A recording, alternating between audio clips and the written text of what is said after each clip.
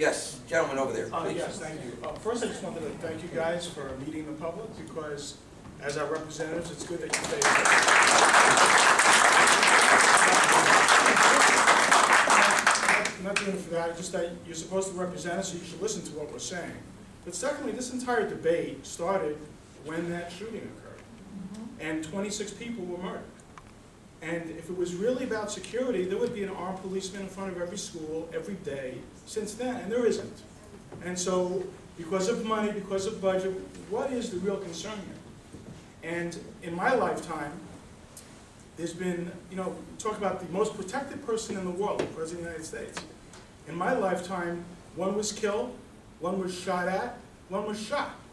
So the reality is, no matter what you do here, what, what you guys do up there, nothing you can do will prevent a criminal from carrying out their plans. There's absolutely nothing you can do to stop it. One of the things that can stop it is a responder. We call policemen first responders. And, and they are. It's all firemen, it's all EMS, and we, we laud them, they're great. But the reality is they're second responders. The real first responder is the person who's there. The teacher was a first responder. She gave her life trying. Now, if she was armed, maybe she would have died anyway. But maybe she would be alive, and maybe 20 of those kids would be alive. Who's to say? None of you, excuse me, I want to finish. And I come to you uh, with this honestly. I'm a military veteran. I was a weapons expert in the military. I've seen the dark side. And I am, for the past 14 years, been a very prolific firearms instructor here in the state. I've taught many people in New Canaan and all across the state. And what amazes me is how little our legislators do know about firearms, such an important topic. A lot of what you said was wrong, but you said you might, and that's okay. but, I mean, none, none of us are experts in everything. We don't expect you to be.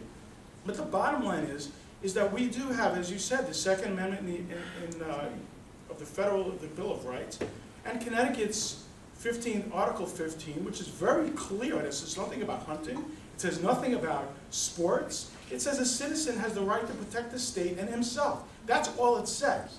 I like that. Because you know what? We live in a very strange world. And 75% of the crime that's committed in our state and around our country is done by people who committed the crime before. And they get out of prison early, like the Petit family. You think Dr. Petit would have liked the opportunity to kill those two SOBs?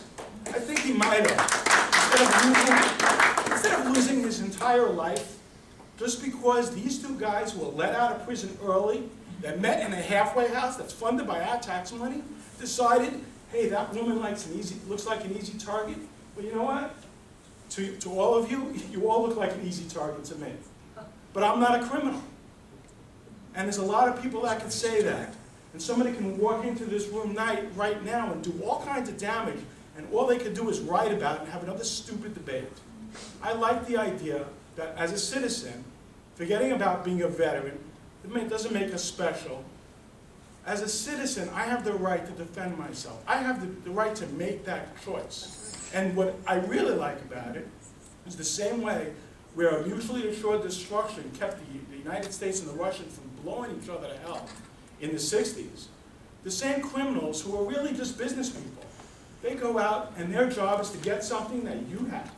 And they size you up like that because they learn this in prison, which is really a college for criminals because there's no rehabilitation in our prison system.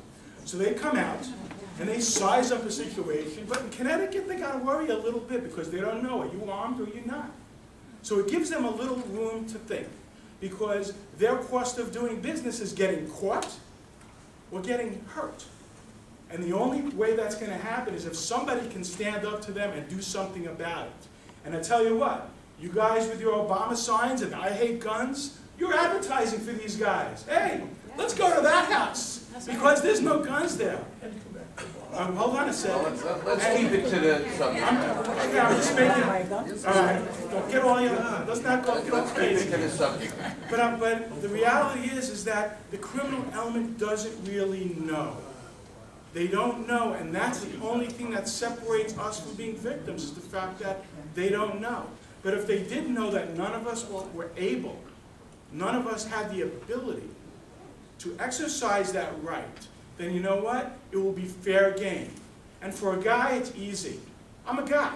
I could still wrestle on the ground. For women, you got another issue. Since we've been in this room, how many women have been raped? How many women have been stalked? How many women have been attacked? You can't count that high. Right? Around this country, in this state, everywhere.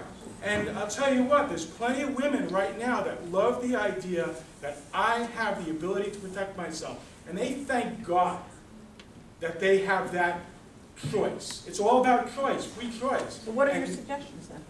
What's your suggestions? Is to just How live as good, a live as good a life as you can, and, and don't be a criminal. I'm talking about, I'm talking about